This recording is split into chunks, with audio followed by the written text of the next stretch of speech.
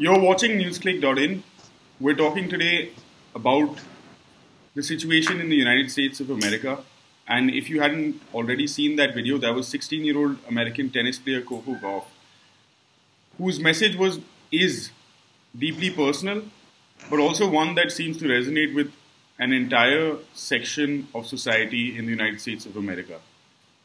Uh, from the newspapers and the coverage of the protests that have broken out across that country over the past few days after the killing of George Floyd, we can tell that discrimination against minorities, racism, uh, hundreds of years after, or more than 100 years after the Emancipation Proclamation, is still a very real thing uh, that the black community and as well as Hispanics and other minorities, including uh, the large chunk of Indian Americans, face in that country on almost daily basis. Uh, we're talking with Vaibhav Raghunandan and Leslie Xavier of Newsclick Sports today, uh, putting a little bit of context on this entire story. Of course, getting an update on all the news that is coming out of uh, the US, as well as how the international media is reporting the developments. Uh, we'll be looking at it from the perspective of, of course, athletes who are coming out because a disproportionate percentage of elite athletes belong to minority communities, and this is true for the US as much as it's true for India as well. So we'll be bringing some of these things into context and having a conversation around them and around minority rights, around racism, some of these issues. Uh, I'll come to you, Vaibhav, first, just for a quick update on what's been happening over over. It's been uh, night in India. What's been happening overnight? Uh, what are the papers saying and, and other news outlets saying? So let's that off. So actually, we was we were supposed to record this a few hours back, and at that point of time, we had we were going to talk about just a few athletes, young athletes in the Bundesliga, as well as Naomi Osaka and Coco Gauff from in the WTA, who had supported, who had sent out messages in support of George Floyd and condemning police action against minority groups in the US. Since then, in just this little in the time that we were asleep, a lot has changed. Now I go through my Instagram feed and every athlete I follow has put up a black square on Instagram, which is now seems to be the um, message standing up against racism. And uh, Liverpool last evening in a training session, all their players and staff formed a circle around the center circle and they took a knee. Uh, Floyd Mayweather, a man who is famously known for not saying much, has come out and said he's going to cover the funeral costs for George Floyd. Uh, in the news surrounding George Floyd's murder, it has now been classified as a homicide. Medical investigators have classified the death as being caused because of the kneeling, but the knee on his neck.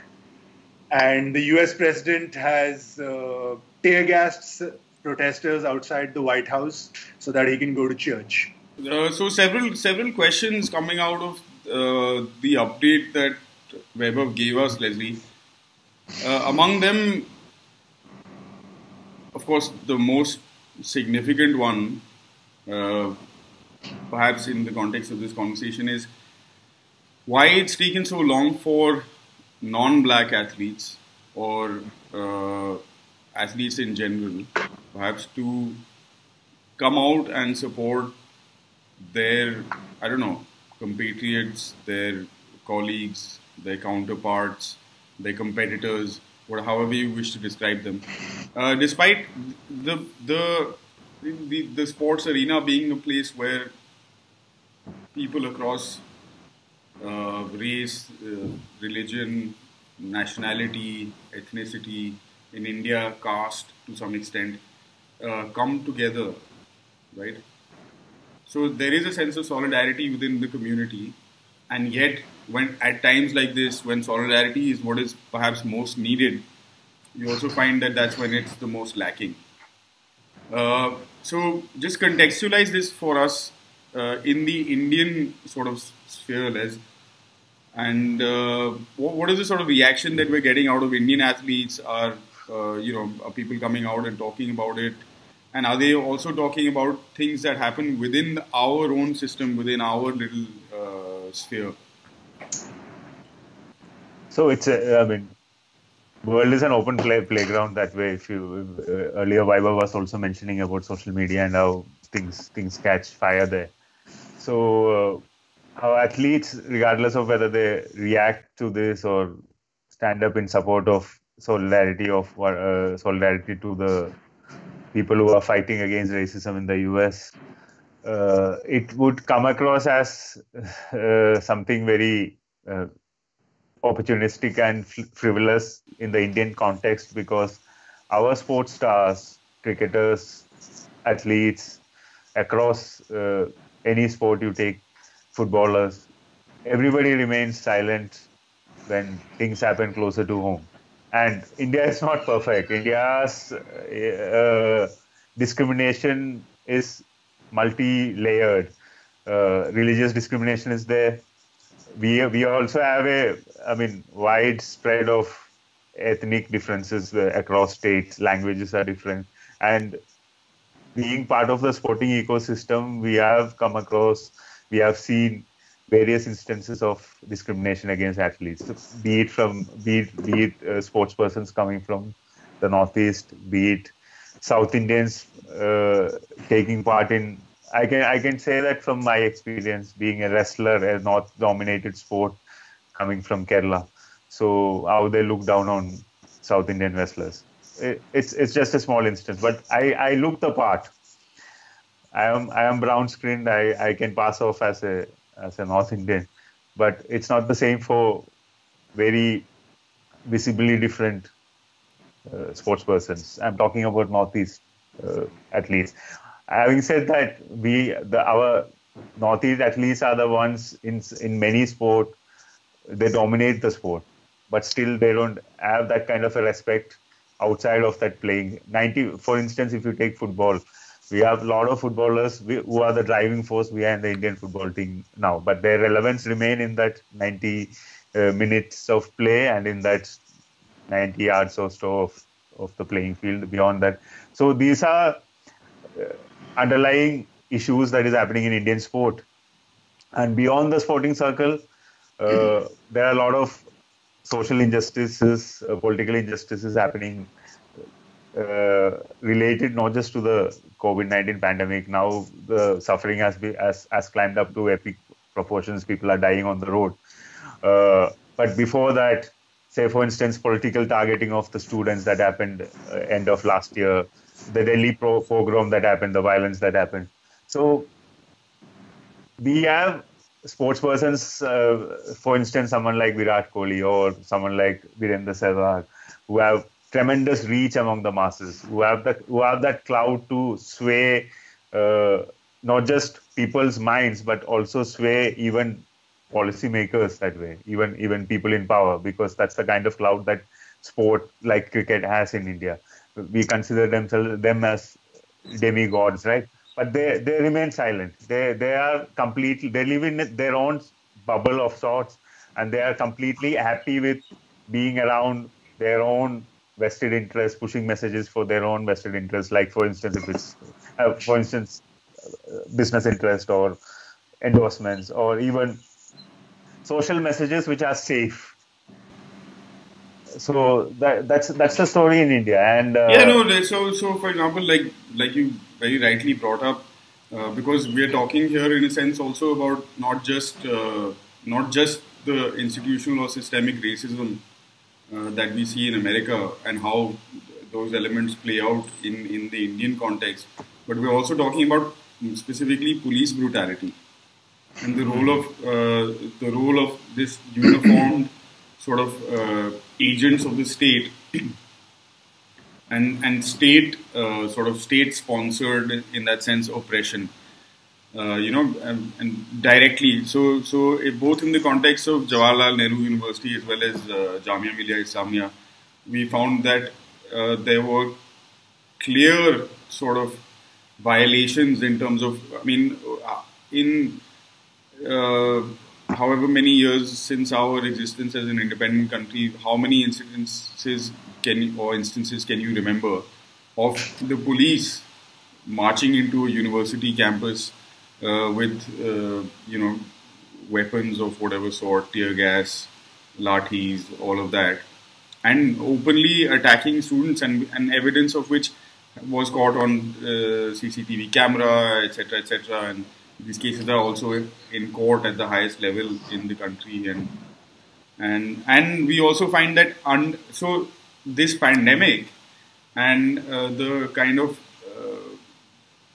shroud that is it's kind of put over all of us has then allowed these forces to continue their work because so much of the media attention, the world's attention is all on on this virus and how it's spreading and impacting various sections of society.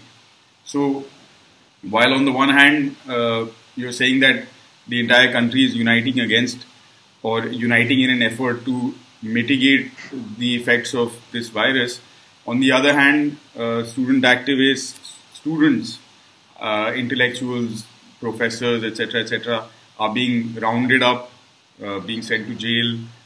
Due processes are not being followed, or or ways are being found around those due processes simply because everyone is being told to stay home.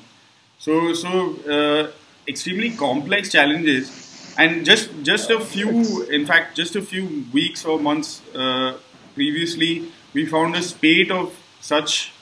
Uh, of course, not with the level of brutality and and one, I suppose, distinction is that the level of militarization of the police in India, except uh, in in the state of Kashmir, is far less, less than yeah. what you see, you know, for uh, urban police forces in high density, high population areas living in the United States.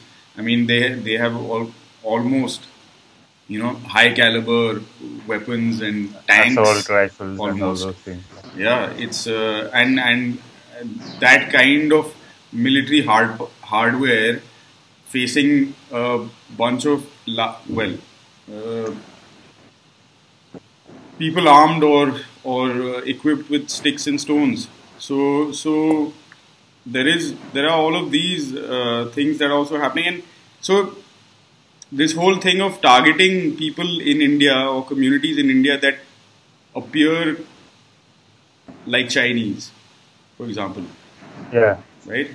Was a regular thing where uh, they, they were racist or racial slurs were used for them. People were physically attacked. You know, and this all over the country, whether it's uh, in, in, cities like Bangalore or Delhi or Bombay. Uh, in fact, one of the few athletes who spoke out against uh, this was Sunil Chhetri, who is the captain of the Indian football team, uh, who was talking about you know, people from the northeast and literally, I mean, here's one more similarity. Sorry, I'm going on and on, but uh, black people in America are saying, "Don't kill us," you know, like walking on the street, going to do whatever it is that I'm doing, isn't uh, shouldn't be a reason for for me to get killed and it's it's uh, it's quite similar in that sense here where the, the, the reaction over there to it is yeah don't get killed sure but look at where all the crime happens. Uh, look at look at you know who, who are the perpetrators of all this all, all, all the crime.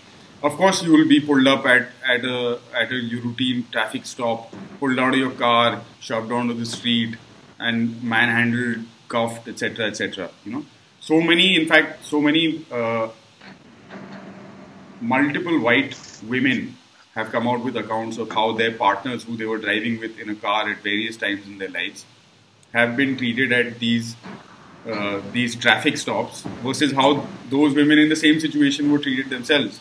You know. So they, it's something very similar to what's happening in India, where at a basic level, uh, people from the northeast or people who who who belong to a certain ethnicity are repeatedly asked to prove how they are even Indian. So uh, going back to Siddhanth, something Siddhanth said about virus being a shroud or a shield for these activities to happen on the side, and uh, we are not getting enough attention, or people are not understanding what is happening on the on the side. But we can't justify our political and social inertness as a society. I mean, uh, because sports persons also is part of that society, and it reflects what uh, how we are. So when when all these issues were happening in the JNU or uh, when the violence was happening in Delhi and all that, uh, people who live next to the JNU also they they they if they don't uh, if if it doesn't affect their lives they don't care. Yeah. So if it's not their son who is getting lathi charged by the police inside the campus, then it doesn't matter for them. So so and I've heard I've heard it from people. I I live right next to the JNU, and I've heard it from people from the uh, from the neighborhood. They say about how these students are always unhappy and creating problems and all that without realizing what is the issue that is happening, why they are standing up, and why it's important for for for education to to be free and uh, why why the society should needs free thinkers because this is an attack attack on democracy via killing education and free thinking and uh, the capability of standing up and understanding the rights so that is the basic thing that they're targeting which which to a large extent is is not there in the US that's why uh, uh, this is I mean, people have rightfully called. In, in fact, uh, in NewsClick uh, last day we had a video also running. It's it's not it's not a riot. It's a re- revolution that is happening. That's what that's what people in the US are saying. People who are involved. Actually, in what you're saying, Leslie, is like also very appropriate, just in terms of purely in terms of like the kind of posts that certain athletes are doing, where they are not just asking people to speak up, but also asking them to understand their privilege when they're speaking up. Exactly. Like they're It's asking why it's not a privilege. It's it's a right. It's a it's a, it's not No, a no, no. privilege. Like- yeah. Yeah, African American athletes are telling their white counterparts to educate themselves and speak up not because they just need to speak up, but also understand the situation that they live in because of just the color of their skin is so different from someone else's. And uh, very often, even in India, like we don't understand that. Uh, Just the concept of how privileged certain people are and how they're treated differently by law enforcement agencies just because of the way they look. It's, I mean, I have like a very simple experience of this when I was in, uh, this was just a brief bit where I was working on a short film in Hyderabad, and there's this festival called Bathukamma that happens. Okay, Bathukamma is actually a rural festival. It's been appropriated by the government of Telangana, and now it's like the Mardi Gras of uh, the state. So there was a friend of mine uh, who is uh, he, he's, he's he's a scheduled class student who's studying at Osmania University, a PhD student, and he wanted to go. And his PhD thesis, he was exploring the idea of doing this e- expl- this appropriation of a rural festival into the urban consciousness, and he wanted to go and just shoot some pictures at Bathukamma. But he wanted to take me because he said if I take you, then I'll probably get to breeze through and go through right till the chief minister. I was like, what do you mean? Like, why, why would you assume that? He's like, just because of the way you walk and the way you talk. Like, if the policeman stops you, you're gonna be like, eight minute. Why? Why? Whereas if he stops me, I just turn around and walk away. and it really, really like it opens your head a little bit about just this idea of privilege, which is, I think, something that is being questioned now in different ways in the US. and I hope that athletes in India also recognize that. No, but, uh, in the US also, yeah, it's it's not the color of the skin that matters there because uh, yesterday uh, Michael Jordan spo- spoke up, and Jordan is the greatest of all time. Uh, Jordan's show is doing amazing numbers on Netflix at the moment. But he was one person who never stood up when he had that that that kind of a platform when he was on uh, at his peak while playing basketball. It never, not even a single issue, social issue, political issue, nothing, zero. So and here he comes out suddenly. So uh, uh, first thing you when I, when you see that is you question his motive. Maybe it's to promote his show. I don't know what. Why why is he aware now right now suddenly? Or maybe maybe sitting at home and uh, he is, is, is suddenly his, his, his conscience as ever he can or whatever.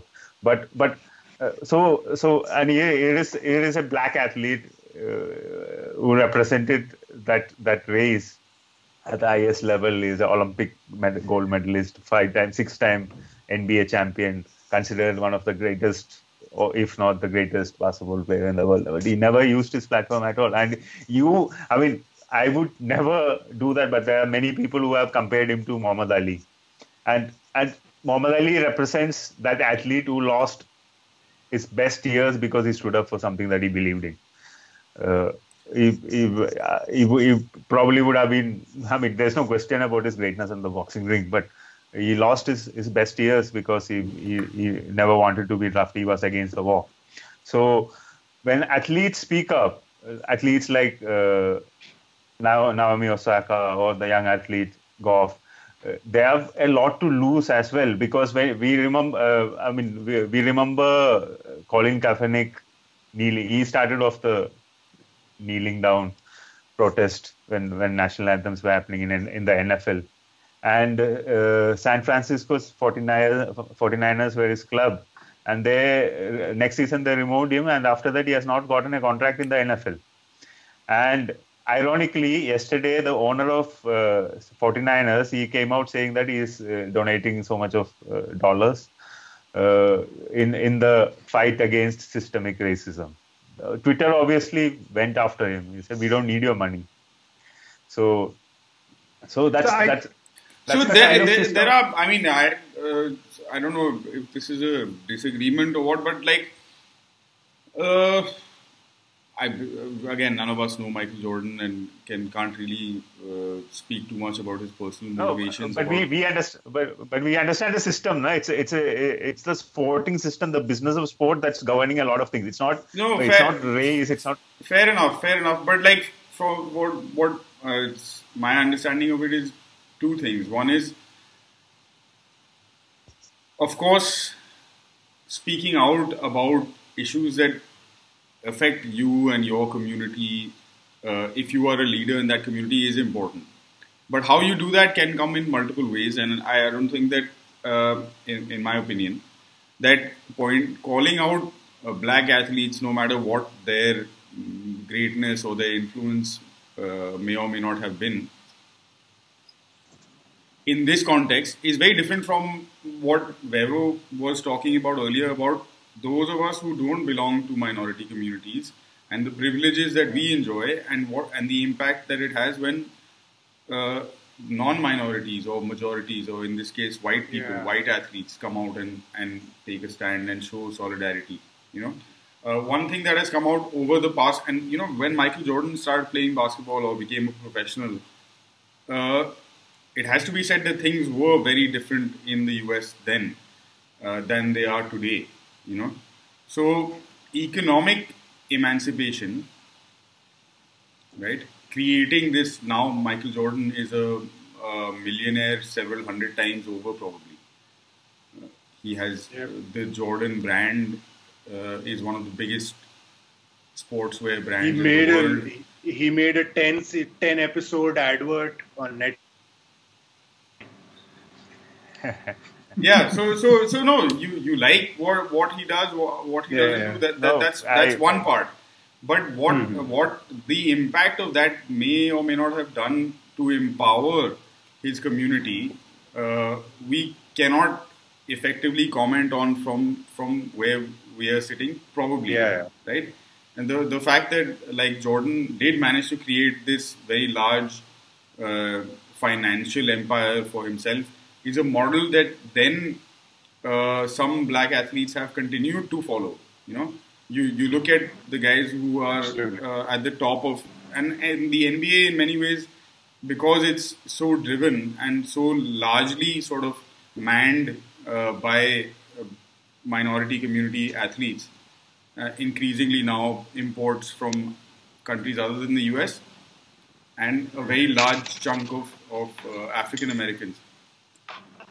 So, you know, uh, they've all of them now are investing the millions of dollars that they get in salaries in creating uh, wider systems and networks that allow more people from uh, from various communities to uh, take these stands to to do several uh, to just have the economic freedom to even think about things beyond what impacts you personally right? So, so that is, uh, I mean, uh, maybe a s- small distinction, and why, that's why it's uh, so much more striking when you look at the Indian context, and and you Because, examine examine where some of uh, our greatest athletes come from, our most popular athletes, our most financially independent athletes. They happen to all be cricketers, which is, you know, again, uh, we should we can talk at length about the systemic racism or uh, institutional sort of biases that pervade the cricket system as well, and how Yeah, yeah, various uh, people are treated in that system based on where they come from, how they speak. You know, um, if you have a middle class upbringing like a Sachin Tendulkar, you are kind of and uh, left alone to uh, work on your sport and uh, do all of that. But you also elevated to this status of, like Leslie was saying, uh, dem- uh, demigod. You know, uh, rise rise of Tendulkar had another factor playing in it also, which is uh, deeply rooted in in in how uh, cricket is controlled by by upper caste. Yeah, So- I mean, you, Yeah, yeah, you don't have to go very much No, I mean, I think this is than true for than like- to compare the two uh, and Tendulkar. Vinod Kambli and Tendulkar. Sachin Tendulkar, who Yeah, came up, uh, grew up through through this, in the Yeah. same system. Many people argued at that time when these guys were youngsters, these guys were teenagers, that Kambli was the more talented, the more explosive, the more Yeah, uh, yeah. so many charismatic of the two. And undoubtedly, at least in terms of personal charisma or personality, Kambli was. He was much more outspoken. You know, he was much more flashy in terms of his style, uh, and he said things. He he took a Whether you agree with his stand or not is a secondary matter, but at least he said things.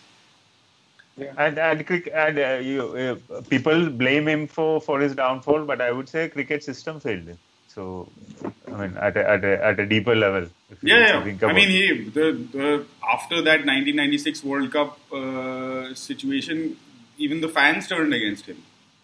yeah, Yeah. and it was not his fault. and that, of course um, not. We, but but one guy, uh, probably and unsurprisingly the darkest skinned guy on the team, takes the Yeah. entire blame for wh- what is uh, a, a team sort of collapse, Like the team debacle, failure. failure, Yeah. whatever. Yeah.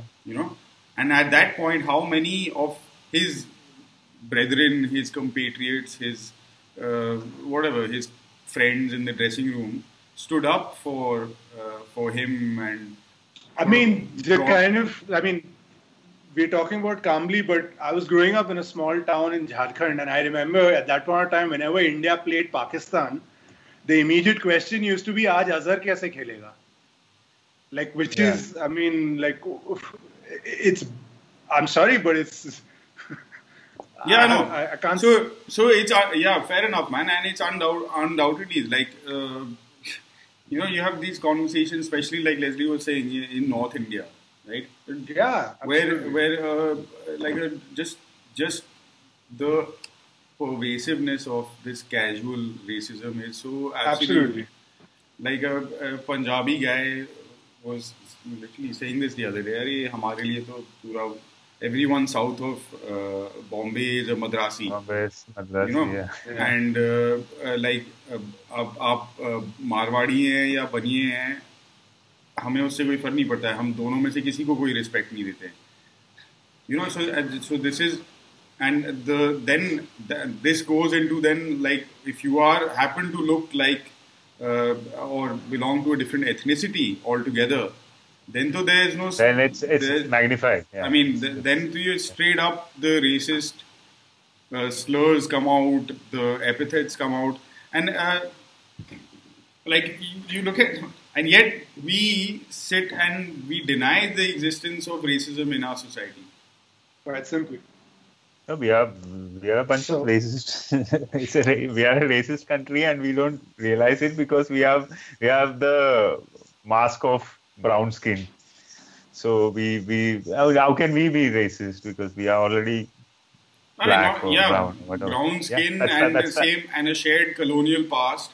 So, so whenever we are accused of being racist ourselves, we, we are like, no, but how can we be racist? Hum to, I know. Uh, white white man has ruled us. You know, white, we yes, need yes. to get whitey off our back as well, and and all of these things.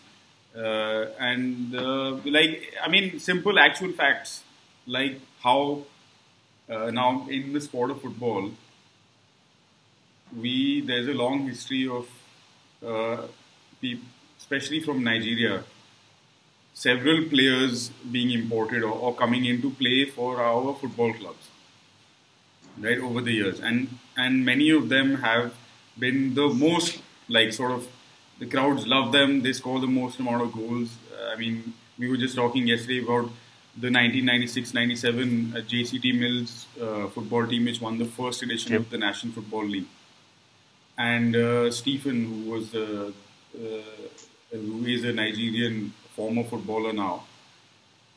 And uh, it, it was one of the rare seasons when an Indian striker finished on top of the scoring charts. Uh, Baichung got 14 goals that season. But Stephen was an amazing player, and, and like his role in that team was central to uh, how they managed to, uh, you know, be the dominant side for that season, winning pretty much everything. Uh, but from Also, the okay, crowd, yeah. The kind of reception response that uh, that African player, that player, black players get. Yeah. I mean, it's nothing short of. Uh, I mean, also in just the way, like, I mean, whenever you talk to, uh, again, like, I don't want to, I don't want to shame anyone, but just when you talk to coaches or scouts or managers, the way they talk about like players from different ethnicities and the way they play, it's just like it's like, हाँ, ये वहाँ ये वहाँ से आया है तो वो ऐसे खेलता है. He's from here, so he will play like this. They are strong in build. And अच्छा ही इज फ्रॉम हियर तो अच्छा इन लोग दे आर वेरी काम डिमीनियर के होते हैं ये लोग like you know like this is racism. I mean, there is no other way to describe this. So and uh, such stereotyping is what is happening when when these police uh, pull out and they are using they are using tasers and all now. Na? I, I, I was seeing some Stun videos gun. in the morning. Stun so guns. stun guns and they are just sitting in the car. You stop and two kids, 20 year olds, they were coming from a protest and they stop them, ask them questions. They don't want to talk to the police because they know what is coming next. They chase him down, and then within the car itself, they just. Uh, I mean, so that's that's not done. That's not how how, how it's. So uh, why is it happening? Because uh, you have a profile in your mind, and you and and the skin is black. So, I mean, straight straight easy target. So, uh, and in our context, it's it's just uh, the problem is magnified because a the level of poverty that we have here is far more absolute than uh, what the United States is facing. The level of uh, institutional systemic uh, oppression has where where they have had it for 400 years, uh, we have had it for thousands ever since Forever. uh, ever since Yeah. this whole structure of caste came came into existence you know so it's it's in our in many ways it's in our dna and so the fight is that much harder but also the consequences are that much harder. And yet we find that people like us who are have gone through the best in terms of what the education system of this country can offer uh, in terms of jobs in terms of uh, just how we live our lives we find it hard to educate ourselves to be more sensitive to be more aware to to and to take a stand when it comes down to taking a stand because if you don't stand for anything at the end of the day how many cars you have parked in your driveway isn't going to mean anything That's that's the point when, you mentioned earlier about economic independence of black athletes and how they are using it. Uh, So, in our country, there is no culture as such about uh, giving it back to the society, except if it's a campaign that that gives you some some kind of PR brownie points. That's how that's how bad it is over here. So, uh, be it middle class. Uh, normal professionals living in Delhi not acknowledging things that are happening, not doing doing their bit or not standing up, or be it the our elite athletes, our our sporting heroes, someone like someone like the multimillionaire Virat Kohli or MS Dhoni. It's it's the same. It's it's it's some kind of uh, I don't know cultural backwardness or whatever, societal backwardness or whatever. Because we are all selfish and live in our silos in our locked up societies. Uh, uh, I don't know. I don't know how India has come about to such a situation. I just, I mean, it's it's Um, again, like I, I mean, I'm not going to fully uh, agree with like what you're saying about like athletes not giving back to society because there are athletes like, I mean, of course uh, Dilip, Dilip Tirki, for example, like a man who's been capped for India more than anyone else in hockey. He's gone and he's done something for the area that he comes from, and what methods he's done it in different ways. He's had to get into the system to be able to deliver back to his community. Uh, so there are And athletes there, who've done there's this, a, like- uh, Vaibhav, maybe you can elaborate on this, but there's a really uh, interesting sort of comparative there because they are both member. Uh, the, Members of Parliament. Dilip is also a member of parliament, as is uh, Sachin, right? Sachin. So, Yeah. Yeah, absolutely. I mean, uh, the, I think again, this is, uh, again, I, I don't want to generalize. After having said that, I won't generalize. But I think it is got um, something to do with like how how wh- what kind of community you come from and how connected you are to it. Like when you're growing up, I guess as a middle class kid in Bombay, uh, you're giving back to the community is just in terms of like, hey, let's make a cricket academy or something like that. Whereas for someone like Dilip Tirki, it's not just about that. He understands like the struggles that he grew up facing. So when he's giving back to the community, it's not just via the medium of sport कि मेरे को और hockey player खड़े करने हैं India के लिए. It's also कि he understands what this hockey just playing hockey, just the facility can represent, can just the ambition this can show to any kid in Sundargarh go, growing up. it's it's also it's Like, also just that uh, I mean, perhaps the difference. a generalization uh, that is uh, perhaps a difference, but uh, also the, such a generalization is impossible because when we take into account another member of parliament, uh, Mary Kom, who is from from the northeast. I knew that. I And- knew it. No, so it's it's I mean how opaque Yeah, and uh, you're right, you're right. insens- yeah, insensitive she I has think- become, and she has come up the hard way.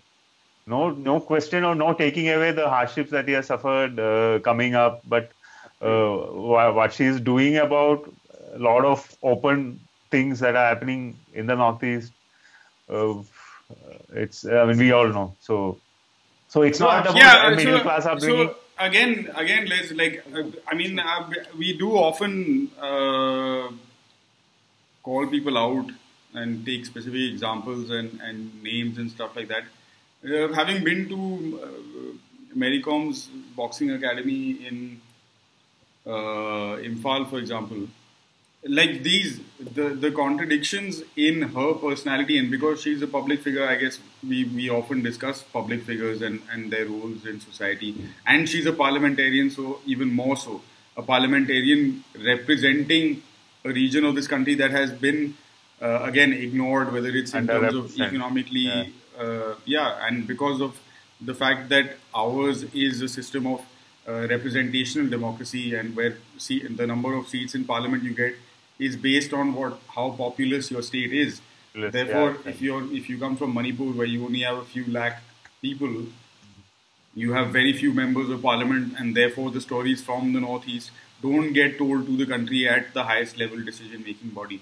Right? So the contradictions in terms of Mary Kom's support for the Bharatiya Janata Party uh, and the stand that she has taken uh,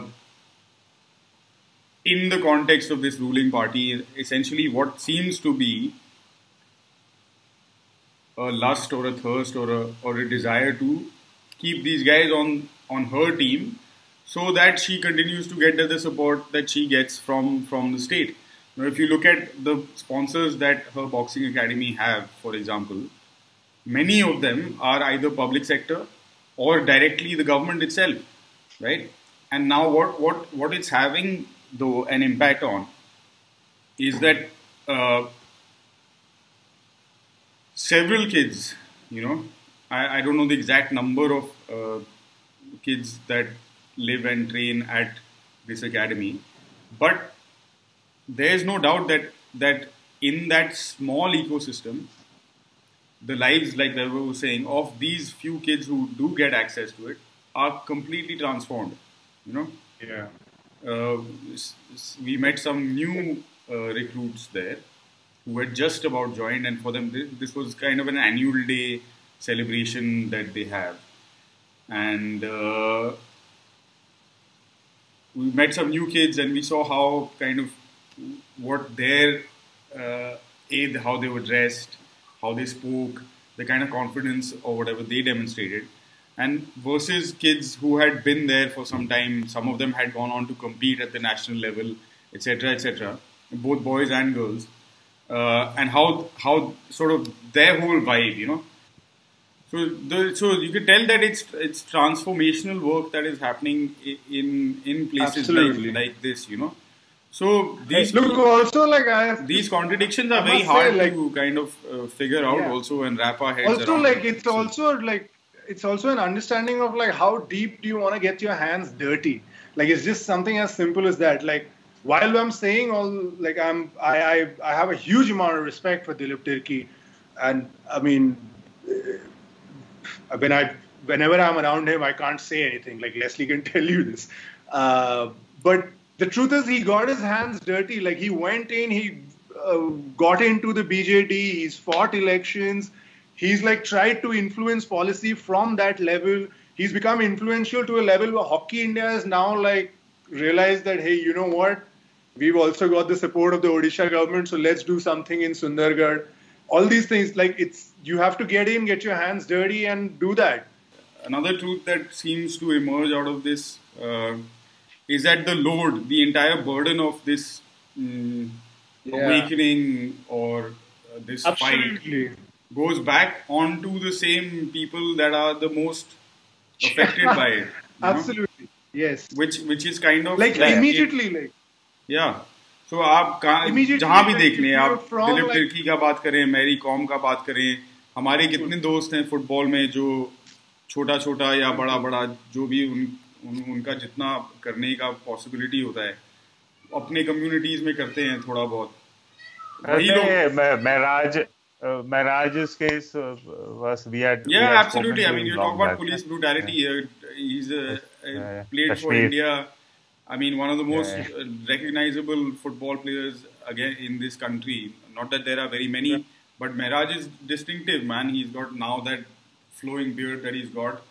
He, he's at an ISL club, so his picture and, and, and everything is all over the place. Uh, he's a accomplished, uh, or well, he's getting to becoming an accomplished coach. And yet, when he was going to see his ailing mother in Srinagar a few days ago, the police picked him up and locked him up without yeah. any conversation, without asking any questions. Of course, now because Mehraj within uh, the sphere of things is an influential person, so this mistake was corrected right? And and the local DCP or whoever it was then issued him a pass and allowed him to go and see his mother. But this is a person who has a voice because he's an athlete and and and, and a recognized athlete. Yeah, that's the that's the point. No? Athlete's voice. That's that's why athletes' voices are important because uh, it it reaches a larger audience. It leads, uh, I mean, it, it it has it has a global impact when an athlete stands up or kneels down. So again, like I mean, I'm sorry, I don't want to digress, or like I want to bring this back to just the fact that we expect people from minority communities and do whatever development work there needs to be done. Right? Like we expect Dilip Tirki to go back and do that in Sundargarh. We expect Mary Kom to do this. We expect Mehraj to do this in Kashmir. Uh, but unless they don't or they don't take the initiative, the system doesn't seem to care. Like, I mean, I've, I've, i can find this truth for Jharkhand, where we had a great hockey player. Unfortunately, when he was playing, there was no Indian system, there was no clear cut infrastructure providing mechanism. And so Jharkhand hockey has languished behind for years and years and years. And till some player from one of the from Khunti goes back and says, you know what, like मैं शुरू करती हूँ because there are no male hockey players anymore from Kunti. Till then, like Hockey India is not going to be interested. There's no center there. Like what? What are we talking about? There is no other athlete who's going to go there and do anything because we expect we put the onus, the burden of development on the people who are being most affected by a lack of development itself, which is essentially I find to be the conversation happening internationally also right now.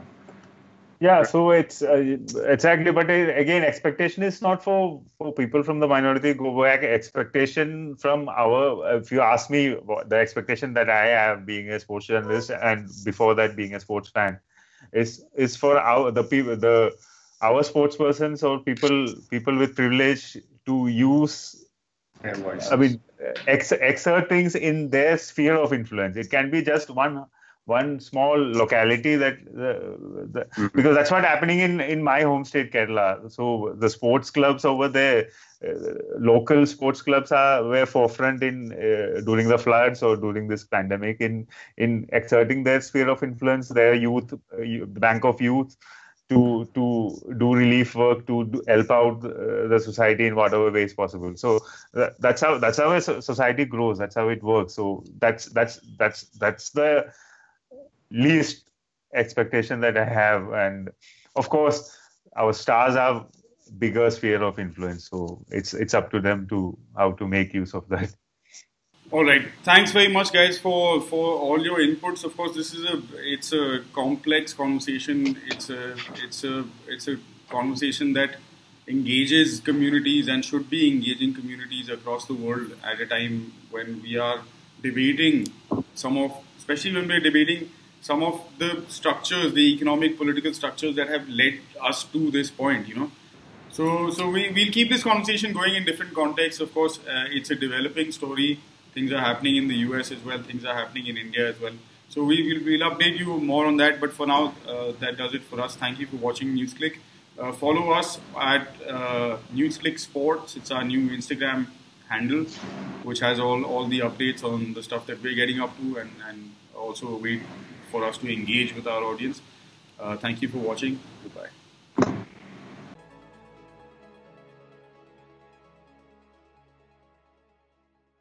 you